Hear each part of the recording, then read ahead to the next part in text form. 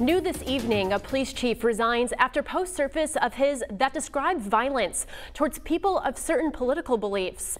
On a social media site called Parler, Lang Holland, the chief of police for Marshall, made several remarks regarding his political bias. He said on several occasions, death to all Democrats in response to other posts. In a statement, Marshall Mayor Kevin Elliott condemns the posts that were made by Holland.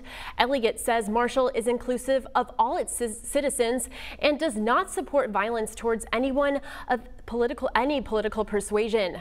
Holland's resignation is effective immediately.